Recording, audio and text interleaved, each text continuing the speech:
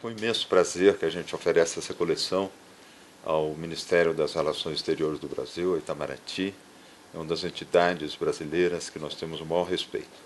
Nós conhecemos bem, já há 40 anos que eu viajo nesse mundo inteiro, né, como fotógrafo, e a instituição brasileira que a gente tem o maior contato.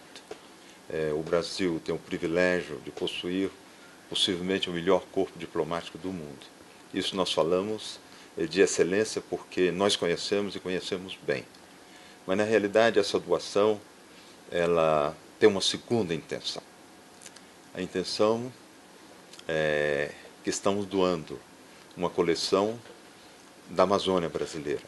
A grande maioria das fotografias é sobre vários grupos indígenas brasileiros. Eu acho que nós temos uma grande obrigação de difundir essa grande cultura brasileira.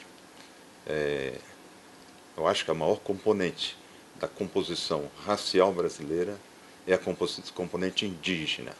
E os brasileiros não conhecem tão bem assim a cultura profunda deles. O Brasil tem o privilégio de conviver ainda com a sua pré-história.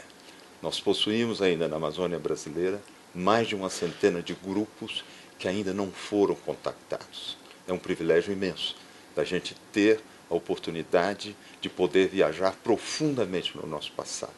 Nós temos, dentro da cultura indígena, vários níveis da nossa história, até os grupos que tiveram um contato profundo com a civilização ocidental.